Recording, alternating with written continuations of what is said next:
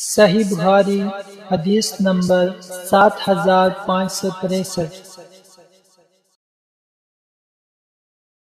हमसे अहमद बिन अशकाब ने बयान किया, कहा, हमसे मोहम्मद बिन फजील ने, उनसे अम्मारा बिन काका ने, उन्होंने अबू ज़रा से, उन्होंने अबू हुररा रज़ी अल्लाह तहों से, उन्होंने कहा कि नबी करीम सल्लल्लाहु अलैहि वसल्लम ने फरमाया, दो कलमे ऐसे हैं जो अल्लाह तबारक व ताला को बहुत ही पसंद हैं, जो ज़ुबान पर हल्के हैं और क़यामत के दिन अमाल के तराजू में बोझल और बावजन होंगे।